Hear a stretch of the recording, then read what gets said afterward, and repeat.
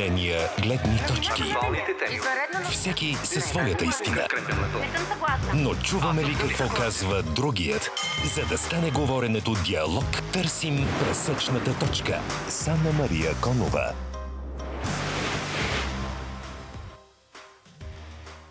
Здравейте, започва пресечена точка. В момента, когато работата на МВР се следи внимателно заради важната му роля в подготовката и провеждането на изборите, полицейският синдикат заплаша и с протести заради заплатите. Колко струва сигурността в държавата? Дискусия по темата след минути. Ще говорим за изборните правила и доверието в тях и защо в Съединените щати Барак Обама не се притеснява да пусне бюлетината си по почтата. А у нас непрекъснато се съмняваме за манипулации. На финала на предаването очаквайте първото телевизионно телевизионно интервю на Калин Велев като заместник министър на културата.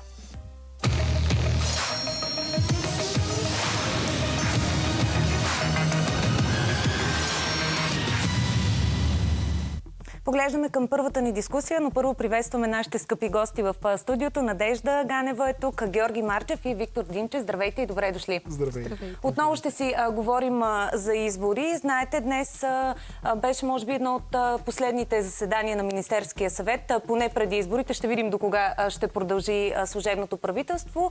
Но играта на избори да приключи. С този призив се обърна днес служебният министр-председател Димитър Главчев, като прикани българите да гласуват, за да се противопоставят поставят на купения вод. Докато българският премьер си служи с игра на думи и асоциации, бившият американски президент Барак Обама се възползва да гласува предсрочно по артистичен начин. Да видим как. Здравейте всички! Аз съм обратно в моя град, Чикаго, и току-що попълних бюлетината си, за да гласувам. Сега е време да ида и да я пусна в почтата. А вие елате с мен. Hi guys. How are you? Hey, sweetie pie. How you doing? Thanks for your service. How you doing, man? Добре се справям. Сега ще ви покажа колко е лесно.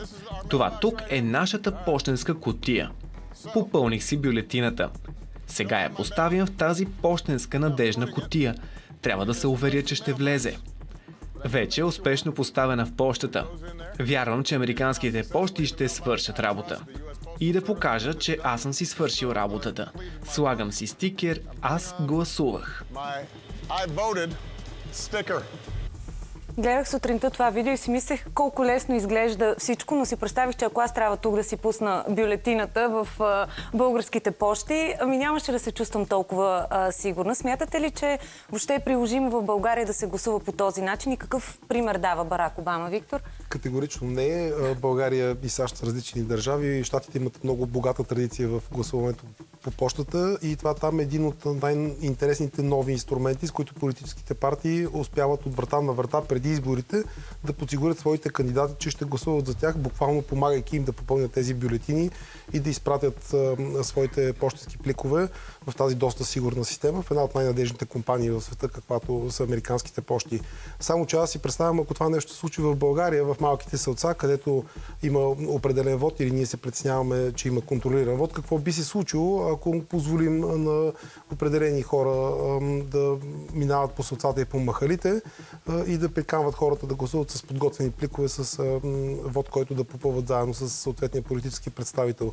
Затова не мисля, че това е възможно в България. Е добре да не пренасяме директно такива примери от чужди демокрации, защото това са малко като тропическите комари, които идват в България. Много опасно. Надежда. Предпоставка за високо изборна активност е високото доверие в самият изборен процес.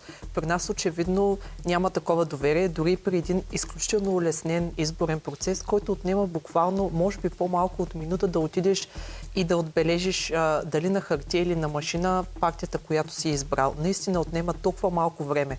Но хората не гласуват не защото а, метода е твърде сложен. Дори това, което правят в щатите с а, гласуването по почтата ми се струва а, да има малко повече стъпки, отколкото да отидеш просто до най-близката ти изборна секция в твоя район и да поставиш хиксче на партията, която си избрал. Или доста по-лесно. две движения на машината. Да, буквал, буквално или с две движения на машината с пръст. Изключително улеснение процеса. Просто хората нямат доверие в самият избирателен процес. И впрочем, изобщо не помага това, че от сутрин до вечер ние говорим как изборите са купени и как един вид вече няма никакъв смисъл, защото така или иначе еди кой си купува гласове и просто всичко е купено и няма смисъл. Това според мен не помага. А, Георги, наистина доверието ли е ключовата дума? Защото чухме в посланието на Барак Обама, той казва, аз имам доверие в системата Американски почти, имам доверие в изборния процес, не се притеснявам да пусна по-рано бюлетината си. А тук от сутрин до вечер как чуваме, включително и днес премиера Димитър Главчев каза, отидете да гласувате, за да се противопоставите на купения вод. Не ни казват, системата е абсолютно сигурна, а заради купения вод. Да, видеото на Обама е доста симпатично и всъщност на мен това ми направи впечатление. Как а, а, в доверието, което изразява към а, почтите, доверието, което изразява Обама, като гласува по-рано. Значи това представете си в България. Ами веднага ще се появи някой, който да направи ала, банкоматно скамиращо устройство на почтенските кутии, примерно. Веднага ще се появи някой, който там по щалона нещо ще бръкне, ще отвори. А, и дори да е един а, случай, това ще застраши а, изцяло крехкото и в момента доверие в а, изборния процес. А, в момента той се осъществява в а, секции, на кои, в които има наблюдатели, в които има а, там членове на секционната комисия, председатели, в някои от тях по-интересните журналисти, какви ли не хора. А, и децентрализирането му в България, както в САЩ, наистина би довело до повишаване, според мен, на недоверието в изборния процес. А самия факт, отново ако използваме израза на Димитър Главчев, игра на избори, той каза време е този а, сериал да свърши. Да, вероятно такива словосъчетания, думи, асоциации бързо влизат в оборот, запомнят се от хората, но, но какъв ефект имат според вас върху гражданите и а, като избиратели?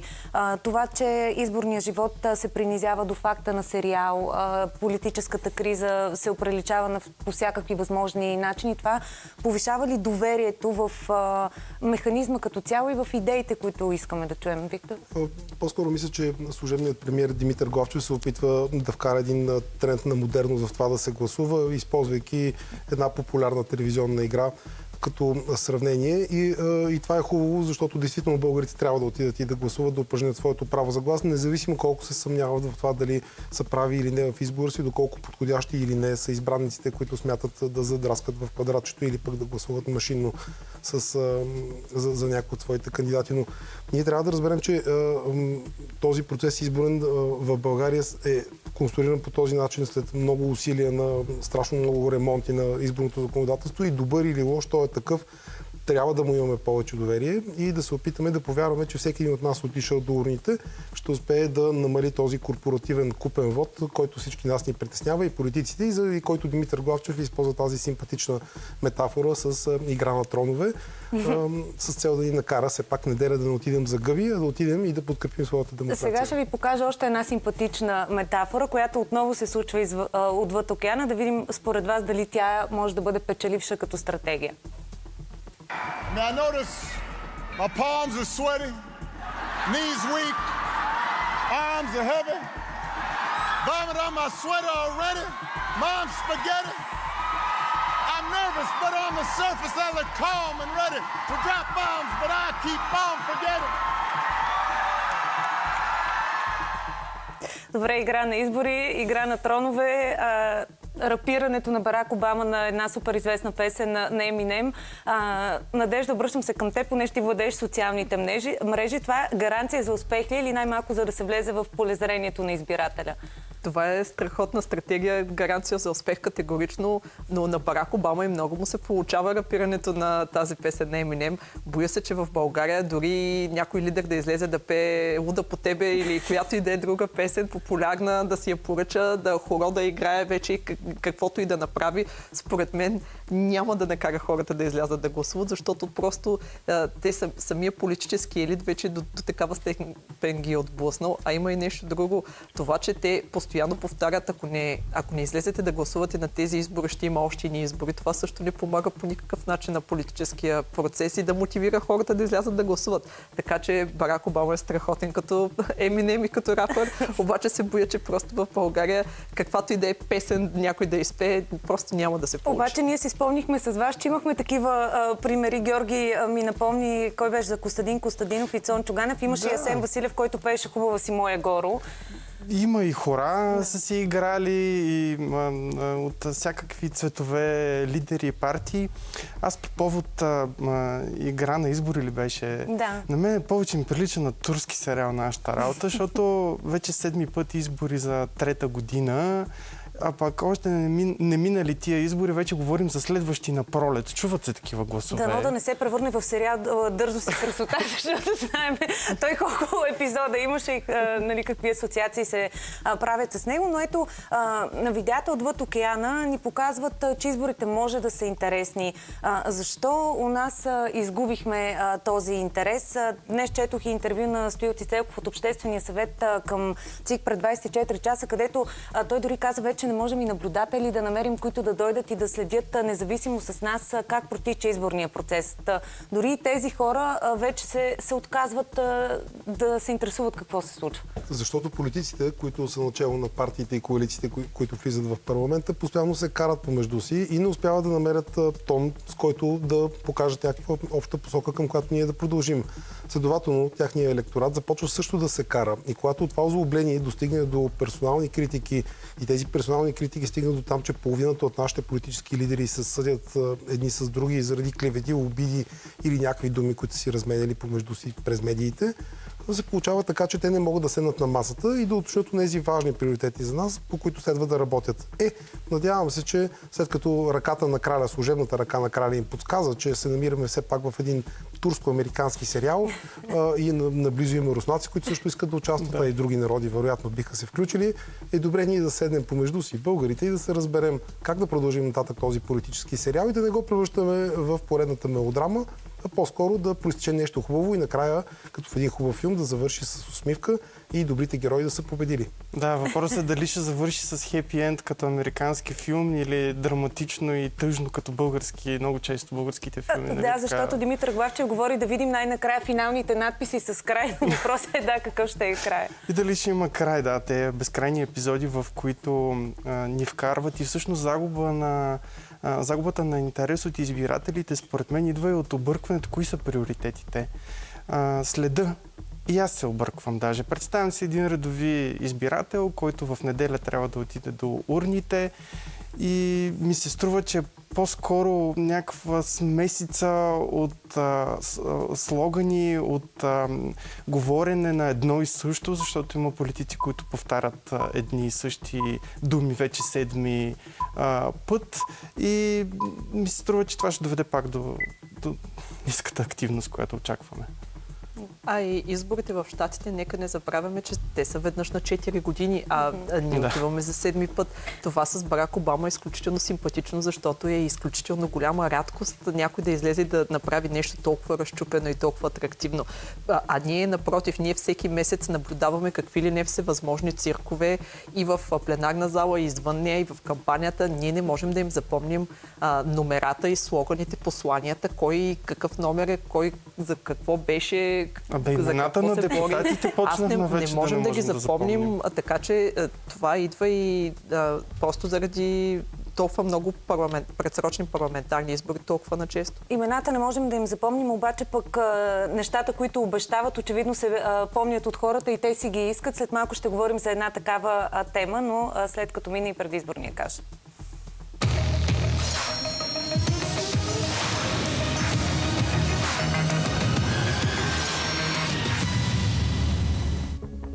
И сега, толкова за изборите. Сега поглеждаме към проблемите, които си съществуват. Новините за задаващия се бюджетен дефицит, знаете, това много се дискутира през последните седмици, застигнаха и средите на вътрешното министерство. Синдикатите в полицията обявиха дори, че са готови на протест. Причината за това е, че според тях няма гаранции за обещаното им увеличение, с което от до година най-низката заплата в силовото ведомство би трябвало да стигне до около 2000 лева.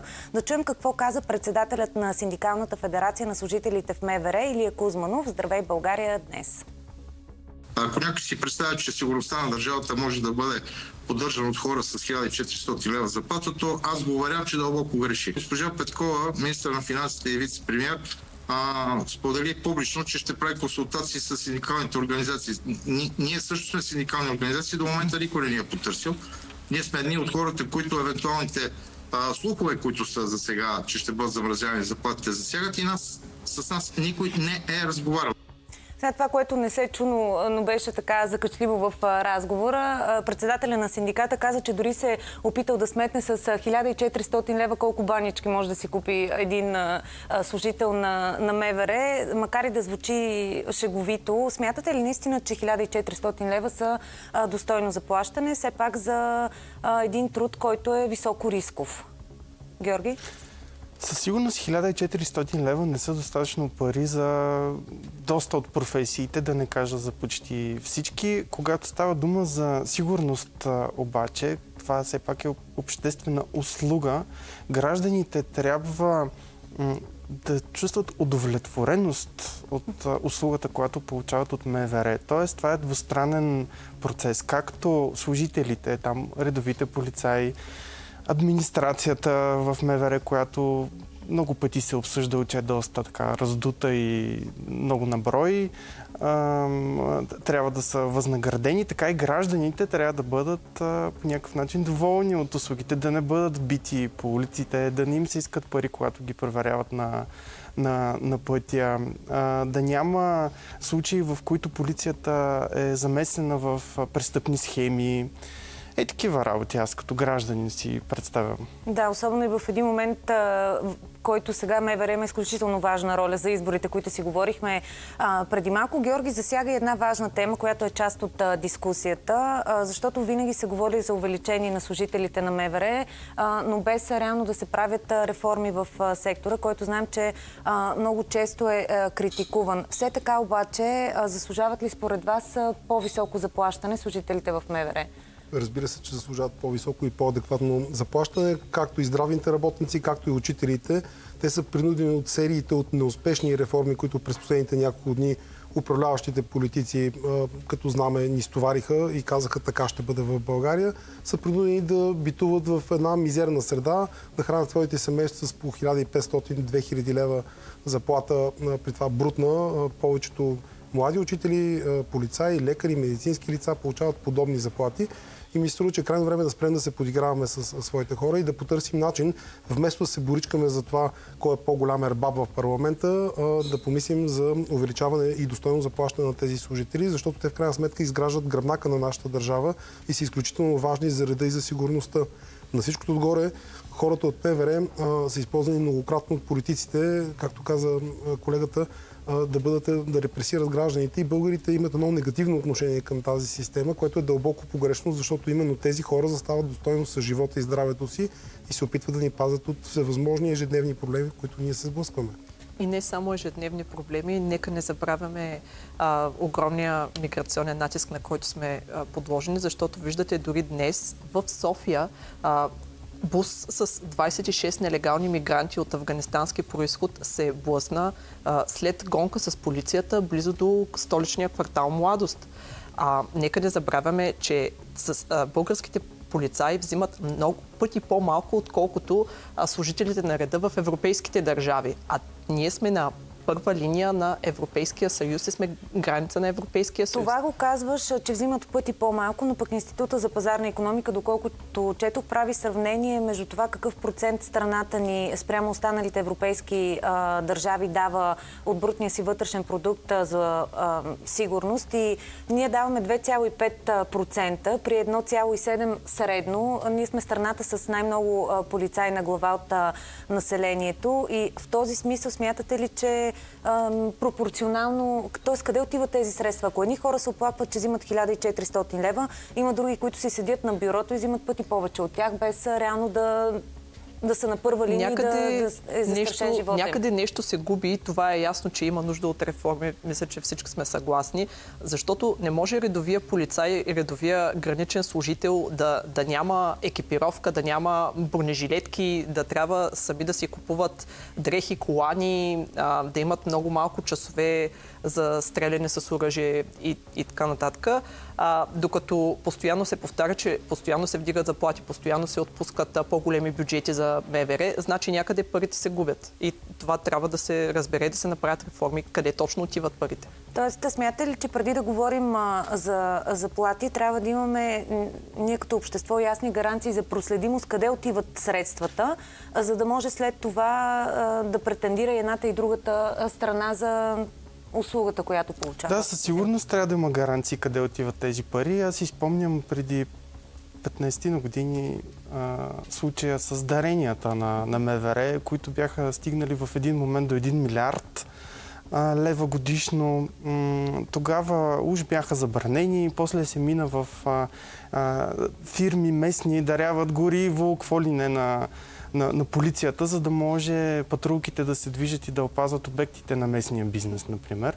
Сега, как така се стига да имаме хем най-много наброй на глава от населението полицаи, хем да ни е най-много процент от брутния вътрешен продукт за сигурност, а пък да нямаме тази сигурност, дето си представяме и трябва да имаме, е един въпрос, може би за милион долара. Не знам, от тия, дето... Казваш, няма да го изчерпи в рамките на пресечната. Със сигурност няма да го изчерпим и със сигурност се изисква политиците действително да се заемат с този въпрос доста сериозно, за да може тази система да се реформира качествено, а не само на думи, както много пъти назад във времето сме чували от министри на, там, на вътрешните работи. Аз пък ще се радвам някой ден на системата на МВР да се отърве от поръчко и министри и куклени глави, на каквито се нагледахме през последните години като ръководители на институцията, стоварени от тая или оная политическа коалиция в Министерството и да позволим на професионалното професионално ръководство на МВР да успее да се справи с тези задачи, които има, без да се налага постоянно да му се слагат шапки и да се принуждава Министерството да се обяснява, за да може то да гарантира тази сигурност, която искаме и да могат колегите, на които са на терен, да могат да защитят от тези проблеми, с които се сблъсква всеки един общественик, само че тяхните, за разлика от нас и вас, са, са свързани с носене на оръжие, с сблъскване с нелегални мигранти, с кражби и други престъпления. Системата на МВР не може да бъде третирана като малко дете, което постоянно да му се посочва пръсти, да му се казва, вие не работите достатъчно добре, харчите много пари и сте твърде много, а, трябва да бъде по-скоро адекватно реформирана, което не може да стане без политиците да пуснат тази мъртва хватка, която се упражняват не само върху този сектор, но върху този особено много професията е свързана и с изключително голям риск. Обикновено политиците се сещат за служителите на МВР, за съжаление, когато има или трагичен инцидент, или когато се случи някакъв, някакъв случай има, който изключително тежко разтърсва българското общество и тогава всички политици изведнъж се хващат да правят реформи. Това е да. всяка година, ако се замислите, да, да вдигат заплати, да осигуряват екипировка модерна, но за съжаление винаги се случва, както и в момента, непосредствено преди изборите. Ще видим дали този диалог ще продължи и дали ще получат обещаните възнаграждения. Очевидно преди избори нищо не е ясно. Благодаря ви толкова по тази дискусия днес. След рекламите продължаваме също с една важна тема за изтеклите милиони, но в културата.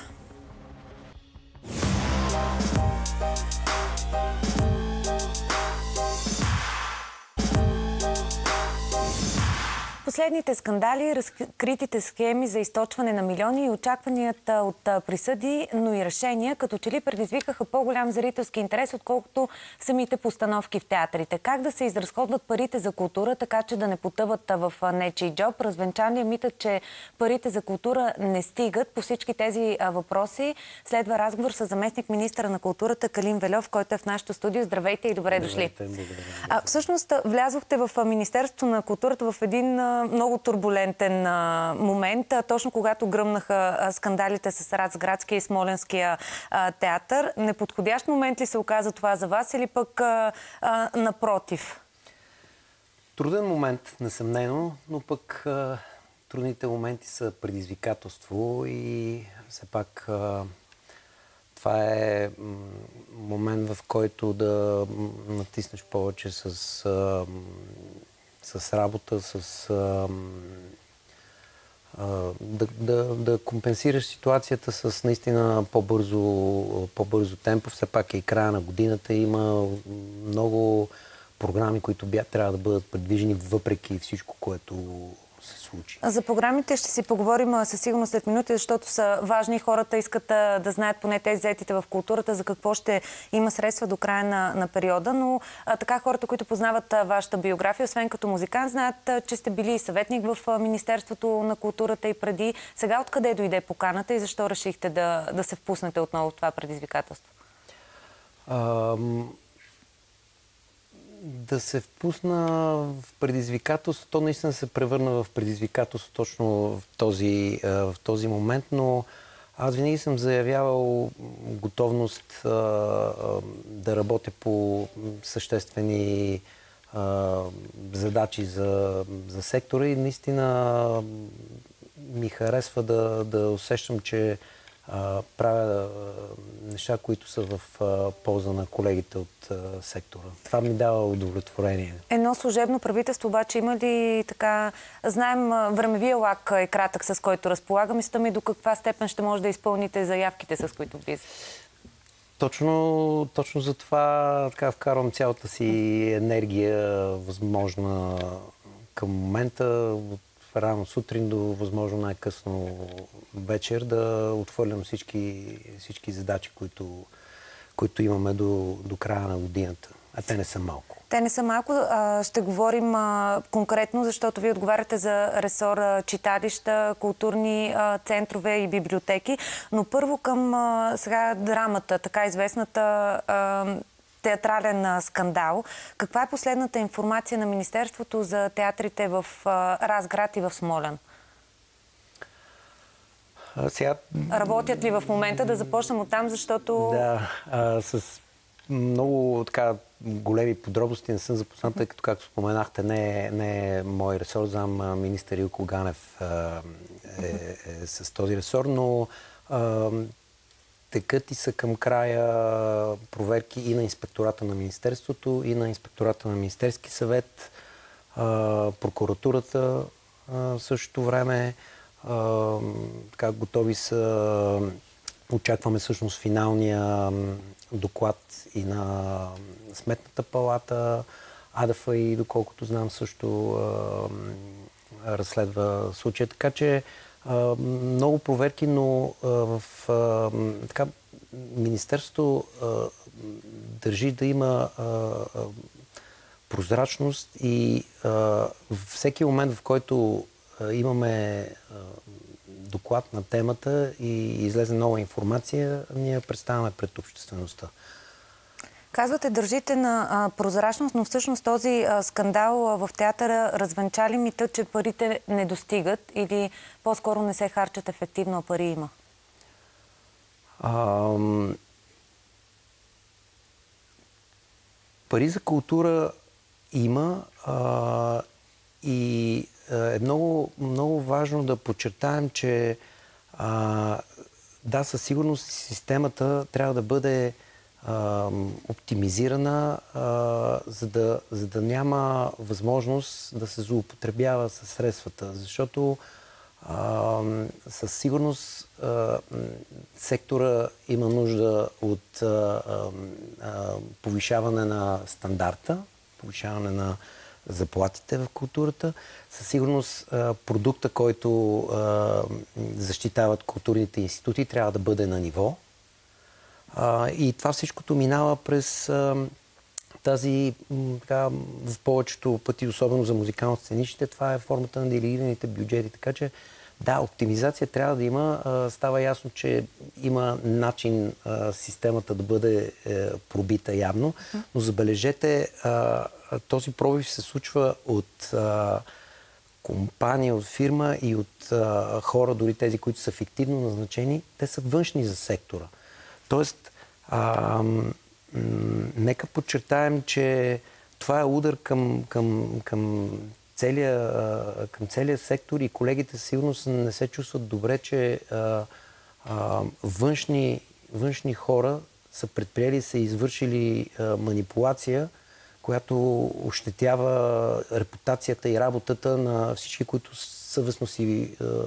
И много е интересен момент, защото четох и на директор в Смоленския театър. Той сега казва, аз се надявам всички тези хора, които са с фиктивни договори, да дойдат да ги разтрогнат доброволно, за да може ние да не плащаме тези суми, иначе те ще се окажат в ситуация, в която нарушава закона. Самия театър отказва да, да изплаща. Звучи като омагиосен кръг, но понеже вие сте артист, много ваши колеги изразиха своето мнение. Смятате ли, че накрая с добри адвокати, всичко ще излезе не незаконно, а просто неморално. Т.е. няма да има наказани. Не, смятам, че, смятам, че а, след като изчакаме и не прибързваме с а, така а, предварително с а, присъди и сочене на пръст кой е виновен, нека да изчакаме а, всички доклади и анализи и съм убеден, че а, ще стане ясно кой е замесен и кой е виновен от една страна и също времено Министерството вече взима мерки, има предложение за така, оптимизация на системата по начин по който институтите да продължат да работят в тази система, но също време да бъдат минимизирани възможностите за щети. Както забелязахте, дори и в Великобритания и в Холандия последните месеци гръмнаха скандали с източване на социалната система. За съжаление, отново, българи, за съжаление, но... да, отново, но а, виждате, че това нещо не е а, така, инцидент само за, за нашите ширини, само за България. Да, лошото е, че има българска нишка и в, да, в двата да, случаи. Не би трябвало да ни успокоява, но когато а, говорим а, за средства в а, културата, имаше една сериозна заделена сума и по плана за възстановяване, но последно, доколкото се информирах, изглежда, че и там проектите буксуват. Така ли и с днешна дата? И за какво трябваше да отидат те? Да, в, по плана за възстановяване стойчост има две инвестиции. Едната е за дигитализация. По нея се работи, даже затова и телефона ми е на масата, мога да дам конкретни, конкретни изражения и цифри. Там срока е до 26-та година. Българска телеграфна агенция е дигитализирала 15 000 броя дигитални обекта, милиони и 500 000 броя дигитални образи. Българска национална телевизия интеграция на видео и аудио 11 000 часа, фотоархив 48 000 кадъра това и така нататък. Това цел се прави? Дигитализация. Това е, това е изключително важно, защото това е наследство. Mm-hmm. Това е наследство. А, държавна агенция, да архиви, да, да, огромно да. количество. Там срока е до 31 август 26 година. А, а, другата пътека, другата инвестиция е през а, Национален фонд култура. А, сега там също, също се работи. Има, мисля, че 17 програми, които се обработват от 11 човека. Mm-hmm. Тоест, и имаме същевременно хиляди проекти, които, които кандидатстват по програмите. А, наистина има, имат нужда така от време колегите, за да могат да насмогнат на цялото количество работа, която се а, струпва. А, надявам се така до една-две седмици да вече да има и конкретни резултати и при Национален фонд култура. Той пак не е мой ресор, така че да. не мога в много големи детайли Добре, да... но част от тези средства, доколкото се информирах, а, а, са свързани с а, читалищата. Има седем проекта отделени за тях. Каква част от сумата наистина ще, ще стигне до до конкретните институции и учреждения? Сега, в, в, в плана за възстановяване и устойчивост читалища са споменавани на, на, на няколко, в няколко различни раздела, като аз съм запознат с, в подробности, но най-вероятно един от тях е а, а, свързани с а, а, ремонтни дейности и състоянието, може би, на градния им фонд. А, тук можем да кажем, че наистина а, има нужда в а, някакъв момент държавата да помисли за а, така глобално решение на този проблем, че а, имаме много хиляди читалища mm-hmm. в а, България, а, които са с граден фонд, който а, така трудно се, трудно се поддържа от читалищните настоятелства.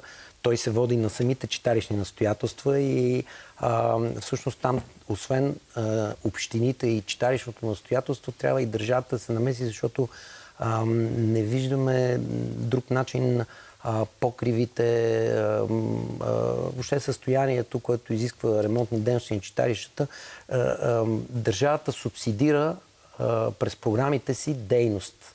Всъщност, можем да се похвалим, че тази година мисля, че през последните 15 години не е имало такава програма. Тази година пуснахме програма, която а, всъщност а, разрешава, освен за дейност, да се кандидатства и за материални активи, а, принтери, скенери и така нататък, mm-hmm. неща, които са изключително важни за читалищата. Имаме такава програма и при библиотеките. Mm-hmm а, Колко от тях са кандидатствани или вече ще могат да се възползват до края на годината от тези средства? Ами, стотици са. Програмите са отворени в момента, продължават към момента да са отворени.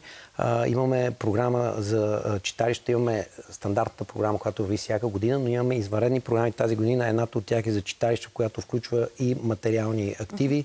А, имаме програма за библиотеките, която включва регионалните библиотеки, националната библиотека. Тоест, вашия призив към всички тези а, читалищни институции да кандидатстват по програмата, защото сега има средства, тече и срок, Абсолютно. ви разбирам. Те, те повечето от тях са запознати и са изключително активни. Ние поддържаме и контакт с тях. Имаме една извънредна програма също така, която е за първи път въобще се случва и е нещо наистина ново. Аз да се надявам това да стане нея, да. А, ежегодно и това е програма за професионалните фулкорни ансамбли, така наречено нематериално културно наследство което от много дълго време успяха колегите. Има там какво да се изчиства още по, по правилата, но се надявам до година тези програми да продължат в а, същата посока, защото а, са а, важни, съществени са, помагат на сектора и колегите ги очакват. Много ви благодаря за този разговор. Надяваме се да имат възможност да се възползват от тези средства и по-важното да ги похарчат Имаше още много неща, за които да говорим, но за бъдеще ще довършим този разговор. Да компенсираме. Благодаря ви, че бяхте при нас. Така се разделяме за днес. Хубави минути с програмата на Нова.